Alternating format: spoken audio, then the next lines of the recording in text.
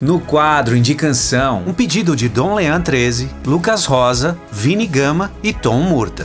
A canção Eyes Without a Face, do artista britânico Billy Idol.